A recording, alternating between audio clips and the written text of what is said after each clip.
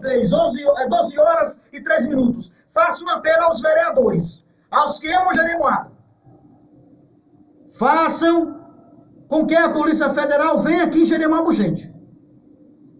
Alguém tem que frear esse rapaz. Não é justo como está sendo governado Jeremoabo. Não é justo. Estão mangando da cara do povo de Jeremoabo. Estão humilhando o povo de Jeremoabo.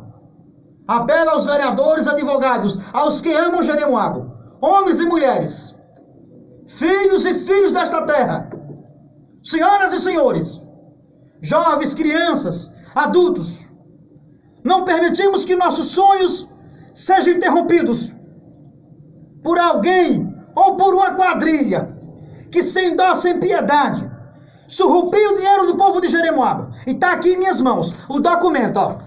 Aqui, ó. Tá aqui em minhas mãos o documento aqui. Deixa eu mostrar mais uma vez aqui, que eles têm a cara de pau de dizer que eu tô mentindo. É porque aqui quem tem coragem passa por mentiroso.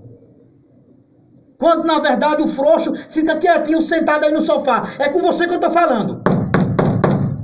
Não se faça de inocente, não.